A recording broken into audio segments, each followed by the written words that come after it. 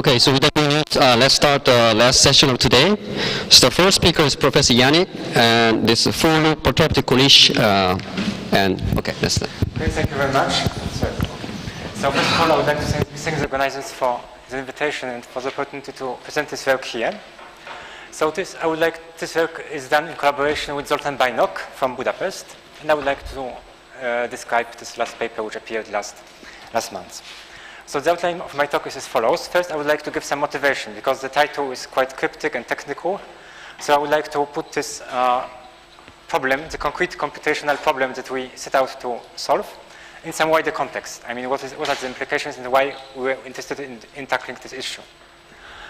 Uh, then I would like to describe the Konishi operator, what it is, how it's described using asymptotic Bethe ansatz, and where the developing interactions appear. And at this stage, it will be clear that why four loop is important. Namely, four loop is much, much more interesting than tree loop in this case. So I will try to explain why, why it's so. Then I will try to describe the string theory part of the computation, namely the tools which are multi-part Kolisch corrections, and then present what are the main ingredients of this Konishi computation and give the conclusions. So the basic question, of course, is that as in two-dimensional CFTs, we want to find the spectrum of conformal weights. This is the first natural question if we have a CFT. So since n equal to 4 is a CFT, we would also like to find the spectrum for any value of the 't coupling constant.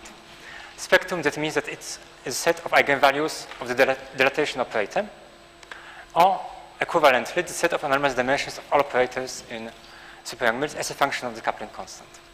So this is, of course, a very interesting but also extremely complicated problem, which, and we can hope to have an answer only because we have integrability in this context.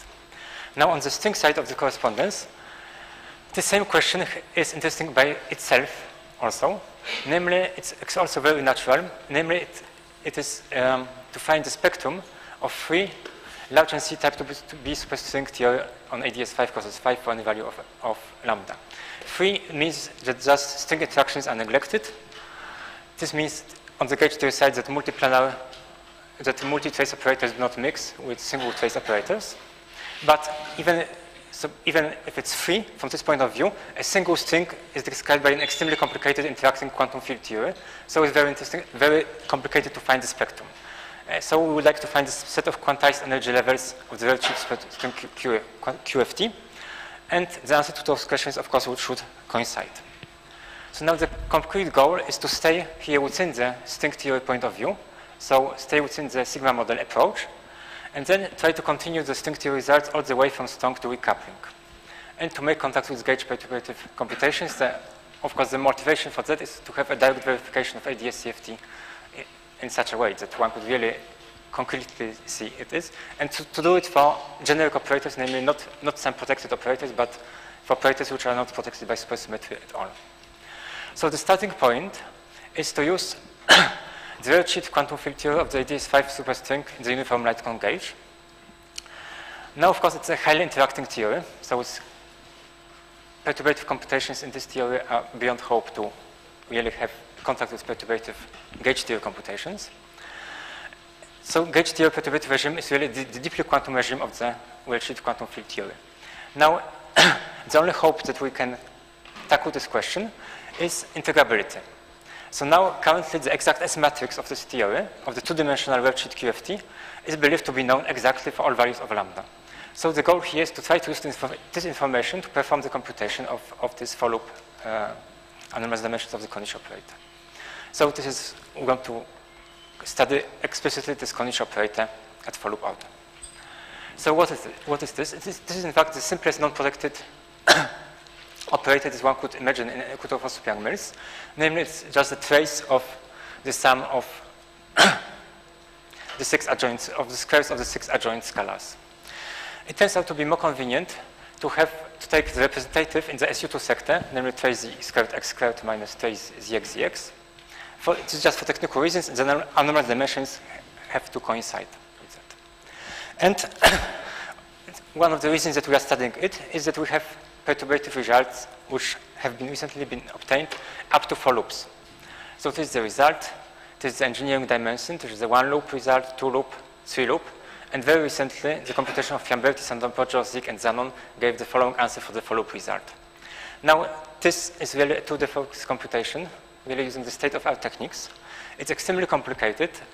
It involves 139 supergraphs and 12 types of four-loop integrals. If it would be carried out in components, it would be, would be still much more, even more complicated. So it's an extremely difficult technical computation on the gauge theory side. Now, why it is interesting to compute the four-loop part? So, and also it's one of the reasons why those people really invested so much effort to compute it from the gauge theory side. First of all, as I will explain later, completely qualitatively new effects appear on the gauge theory side here, namely wrapping interactions, which were absent before at 1, 2, 3 loop level. Moreover, this is the first order which goes beyond the Bethe ansatz. So the asymptotic Bethe ansatz breaks down at this point. So if we want to understand it, we would like to know complete, the complete spectrum. And as I'll, I'll describe later, also it turns out that the, the type of physics which appears at this order is extremely sensitive to the whole understanding of the worldsheet quantum field theory. Because basically it comes from a loop, one loop effect. So all possible particles in this worldsheet QFT can circulate in the loop. And that's why it's very sensitive to if we know the complete theory or, or not. So, um, and finally, the computation from the string theory side would be a very non-trivial test of ADCFT to get this answer explicitly. Okay, so now how to describe it in asymptotic Bethe ansatz. So Uh, this operator is made up of two these two axes, So it has j equal to 2. Each of the axes is an excitation. So we have two like particle state with opposite momenta because the total momenta has to be 0 because it's tracelessness of, of uh, uh, sorry, cyclic invariance of the trace. So to so we start from Bethe equations, which are in this case just e to IPL times the S matrix of P scattering on minus P momentum. So we know the S matrix exactly. So it has the following form. The length is 4. Here we have some rapidities, and this is the dressing factor. And so this is given by some exp explicit expression, which I do not write here. U of p is given by the following function, where here we have the Crofts coupling constant. So now it's a simple manner to take this equation and then solve for the p in a strong weak coupling expansion. And the answer is like that. This transcendental factor zeta of 3 comes from the dressing factor. And it's is the first order where the dressing factor appears.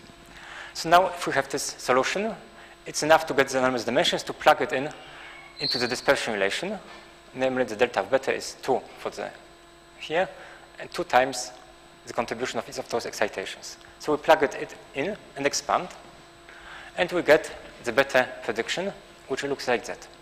So we see that the first one loop, two loop, and three loop results agree, the four loop is different.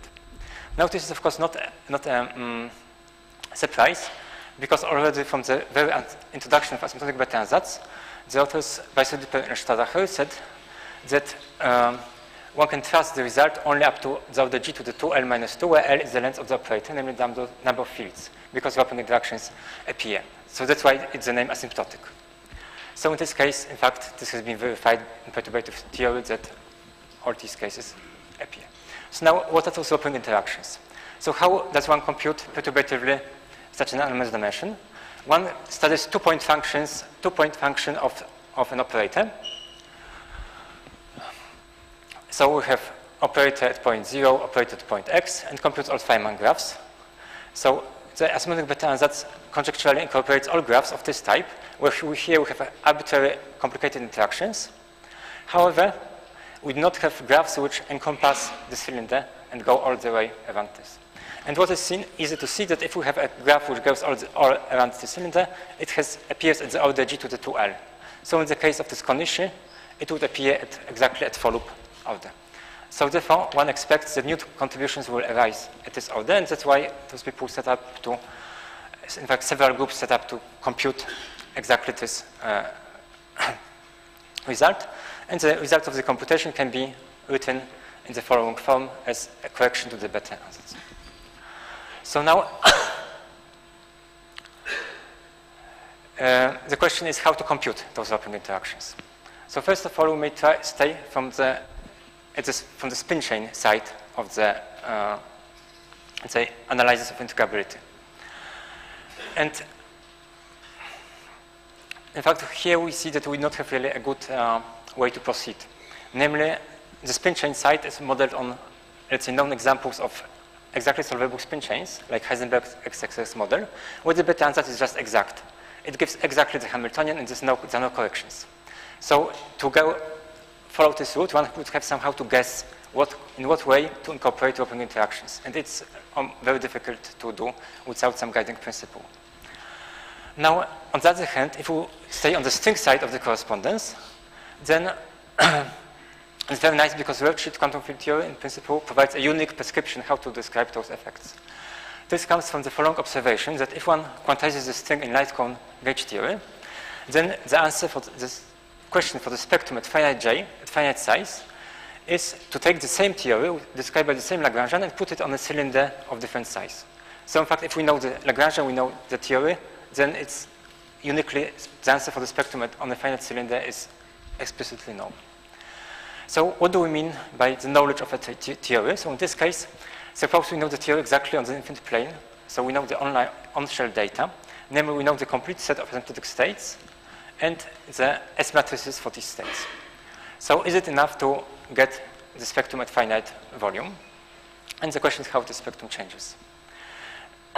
in fact, the answer seems to be affirmative, in particular for single particle states, if one asks about the leading correction to uh, the energy levels, then already in 83, Lüscher derived universal formulas for those corrections, which are expressed directly in terms of those infinite volume data.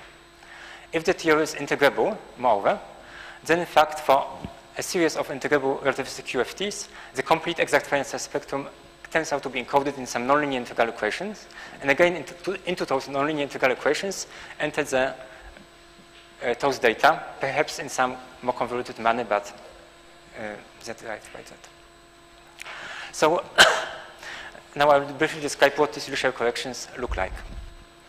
So for relativistic theories, if we look at the leading finite size effects, which arise due, they arise mainly due to virtual corrections, virtual particles encircling the cylinder. So there are basically two types of, of graphs. So we have a one particle state, and we want to find the correction to the energy or to the mass of this particle. Then we can have a virtual particle which goes along the cylinder and scatters on this particle. And the scattering is given by the exact S. Also, this magnon, this excitation can split into two particles and then recombine. And Lüscher, in fact, gave explicit expressions for each of those graphs. So they are given by some specific formulas written in terms of the S matrix. And so this was done for relativistic theories. However, it turns out that this can be generalized to ADS worldsheet theory, where we do not have relativistic invariance, but we have this square dispersion relation. So this can be done. And we want to apply this method to the case of the Konishi operator. Now we have two questions. First of all, this is just an answer for leading finite size effects. The Konishi operator has length 4, so it's very small length. So in what way can we hope to get exact results for the wrapping interaction? So this is one question. Another question is, can we derive similar formulas for multi-particle states or for two-particle states? Because Lüscher derived them only for single-particle states. So first I would like to describe this question. So there's a very nice um, interpretation of how to estimate the magnitude of these corrections, which is, due to which is using thermodynamic Bethe ansatz. This amounts to, instead of looking, performing a modular transformation for the theory on the cylinder, namely instead of taking the time going in this direction and space here, we take time to go here and space here. In this way, in this crossed channel, there's no, there are no interactions, no virtual corrections. Everything is described in terms of the Bethe ansatz. And we have just finite temperature theory. So using that, using that philosophy, one can estimate the size of the corrections, like E2 minus the length, the size of the cylinder, times e, ETBA of PTBA. Now, this E of P is a dispersion relation for the theory where space and time are interchanged between themselves. So for relativistic theories, of course, what one gets here is exactly, again, relativistic, uh, relativistic formulas. But in our case, since the dispersion relation is not relativistic, performing this interchange leads to the following estimate, namely that the single correction is like E2 minus 2L arc sin square root of 1 plus momentum squared over 4G. So does it make sense? So let's see how it looks like at strong coupling. So when G is very big, this is uh, small, so we can forget about the auctions, and we get E2 minus L over 2G, which is E2 minus 2 pi L over square root of lambda, which is the typical size of corrections on the string side. Now, what's more interesting for us is the weak coupling result. Now, G is small, so this is very big, so this is like logarithm, and we get that the, this circle correction is like G to the 2L. So this means that, first of all, for Konishi, we expect the leading contribution to be at four loop order, and now and next co contribution from another virtual particle will be suppressed by another factor. So that means that even that we have, let's say, leading corrections, we can nevertheless get exact results at four loop order. So that's why L equal to 4 is, is enough for, for that. Okay, so now we have to go to linear corrections for multi-particle states. So again, we have to return back to those relativistic integrable field theories, which are solvable by thermodynamic Bethe ansatz. So the, the answer is given in terms of a nonlinear integral equation in those cases. I would want to write Uh, it explicitly. However, one property of this equation is that it's solvable by iteration. So if we are looking, if we are interested in finding the large volume limit, we can solve this equation iteratively by having the zeroth of the solution and then plug it, plugging the solution again and again and again. And this way find an expansion. And the zeroth order, in fact, is exactly the Bethe equations of, of the original theory. So in this way, we see that we get better equations for leading order. But it's not the exact result. So at first order, we have some effects. So uh, there are, in fact, two main effects which arise here. So first of all, we have um, the Bethe equation will get modified by one can understand it as, as a sea of virtual, part, virtual particles get modifies the properties of those. So the momentas will get shifted. Next, there's also a direct on top of it. So therefore, the energy, which is a sum of the energies of each individual magnon, will get corrections because the momenta will be shifted. On top of it, there's a direct contribution to the energy, which comes from, again, a graph which seems very similar to the Lüscher F-term, but now it's written for F for two, two particles here. So this, these are the original particles which entered the multi-particle state, which we are interested in. And here we have a single particle which goes around the loop and interacts with those two particles. I will give an expression for this in the next slide. And in addition, it may appear that these S matrices here have, may have some poles. So one would have to take the residues of those expressions at those poles. These would be like analogies of the mu terms for, uh, for multi-particle states. However, so, and, well, it turns out that um, the formula which is arises for this, for this graph, which is obtained by iteration of this TBA equation, is in fact very nice. So it's, one can very easily guess how it would generalize to ADS case. So it's, um, it seems that it's a highly universal structure of this uh, correction. So one can check this guess, for example, by making the same analysis for a single particle state. And in the case of a single particle state, one could, can get the generalization by a completely independent diagrammatic computation, and one sees that the results agree. Okay, so now we may try to, we applied this um, expressions to the Konishi operator at four loops. So we consider the two-particle state, and it turns out that at four loops, there's a nice simplification, namely that um, uh, the shift of the momentum would appear only at five loop order. So we do not have to worry about it. Also, at weak coupling, one should not include the residues of the poles because uh, it's a kind of physical property of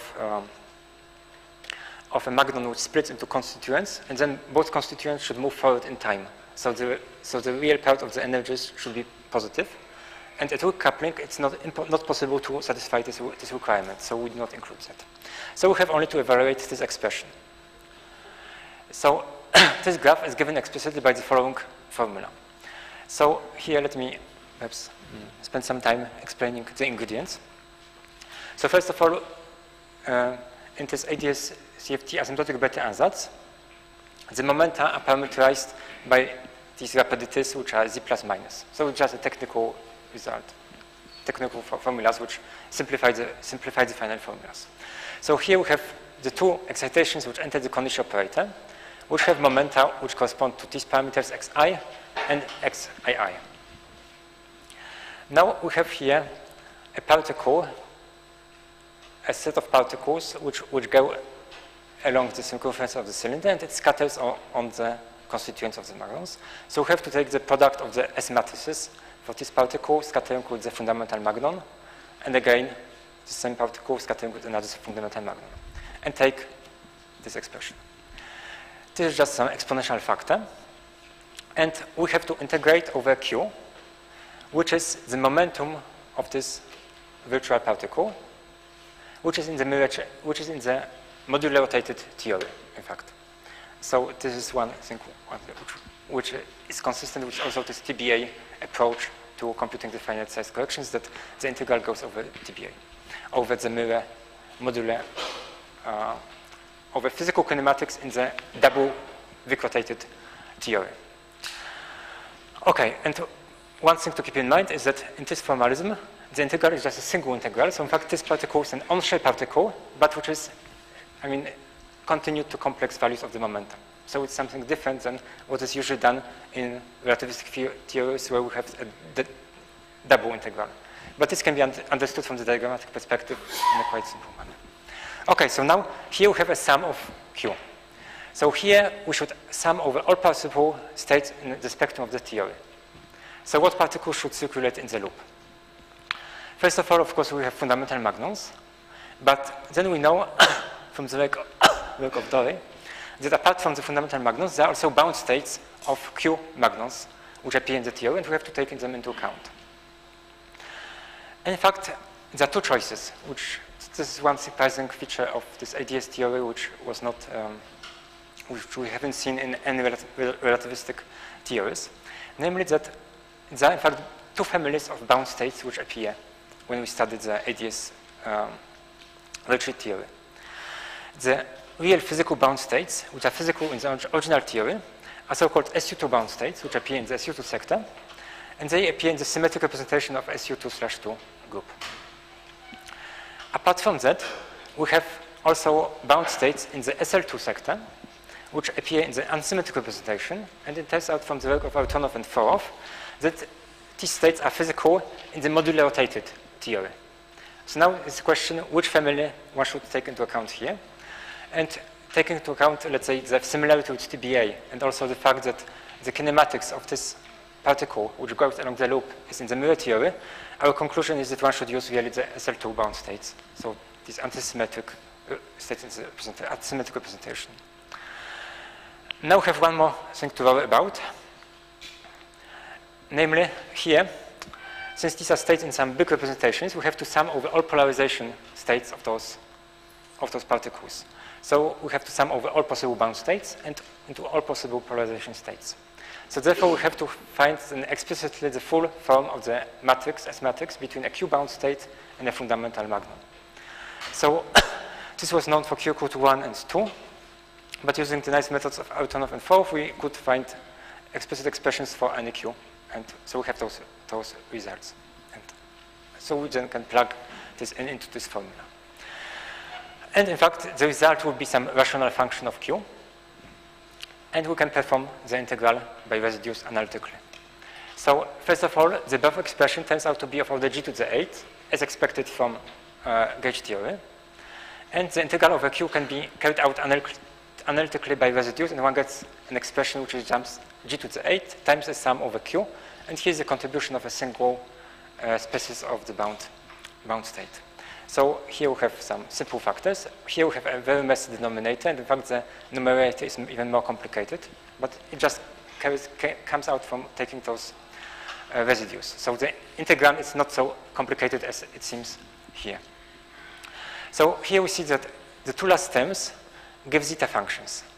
And these are just the zeta functions which have, give the right coefficients for the Konishi operator in this perturbative computation. So here we see that the transcendental factors zeta of 3 and zeta of 5 which appear here have a completely different origin from the zeta of 3 which appears in the Bethe ansatz result where it came from the dressing factor. Here it just comes from summation over an infinite tower of, of, of bound states. And what is extremely surprising here is that the remaining rational function, this one, can be summed up and sums up exactly to an integer. So no transcendental functions appear. And in fact, this gives exactly the result of this loop perturbative computation of, of Jan-Beotis Sandoval, Jozik, and Zanon. So this is the final result, so we have complete, complete agreement. Okay, so this is uh, the main result, and now I would like to give, let's say, the main conclusions from, from this. So first of all, uh, some points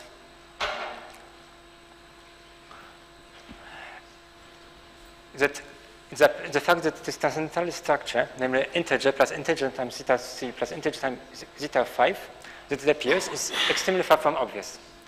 Namely, it just, it, if one would generically write a rational function of, let's say, which looks similar and perform the summation, one would get, let's say, a mess of psi functions and so on. And in particular, if one would use the symmetric bound states in this computation, one would get an extremely complicated expression which does not have the transcendental structure expected from gauge theory. Now, the finite size effects. So now, why it is interesting? So first of all, the finite size effects involve a loop integral over all states of the theory. So they are really a very strong test of whether we, we understand completely the worldsheet QFT of the superstring. So this is especially important at weak coupling, where, as we, as we saw, that once something starts to contribute at, follow, at the leading order, all bound states contribute at the same time.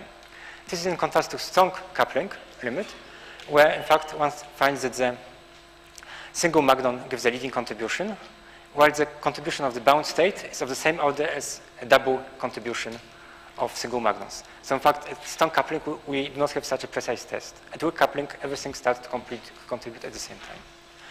So in particular, the fact that we get agreement with gauge theory implies that magnons and Q-bound states seem to form a complete basis of asymptotic states for this worldsheet theory. So in fact, for example, we can, let's say, answer questions that, does, not, seem to a place for composite vacuum, composite structure of the magnons. That if we take the magnons just as they are, take the S matrix, we can obtain the full, the full, let's say, the full answer and all the properties of the, of the QFT can be obtained. Um, the next point is that this computation of this finite size effect solution corrections is really of a distinctly two-dimensional quantum field theoretical nature, because we are really taking explicitly a virtual correction, which is extremely natural from the point of view of quantum field theory, but for example, from the point of view of spin chains, it's something which would have to be put in by hand. So here we, we get this result. And, uh, and we get, of course, the result of a 4D gauge computation, which is completely different. So one interesting thing is that this result came from this Lüscher graph. So, be, so perhaps there's some way of organizing the perturbation theory for gauge theory to, which would take this into account. So it would be very interesting to understand if there's some structure, I mean, in the previous formula in terms of, of um, these results. And finally, the agreement with this recoupling perturbative gauge theory is an extremely non-trivial test of ADS-CFT, which is nice. Thank you.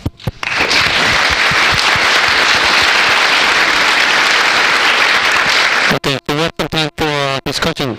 comments? Okay, Nathan. explicit form of, the explicit form of the light cone action must be somewhat complicated. Do you ever need to use the explicit form, or do you just never really think you use the explicit form or do you should just cancel it? No, no, it's not used at all.